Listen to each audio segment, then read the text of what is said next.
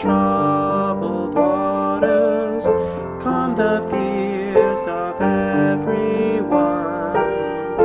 Gently as the breeze of evening, gently as the wave on sand.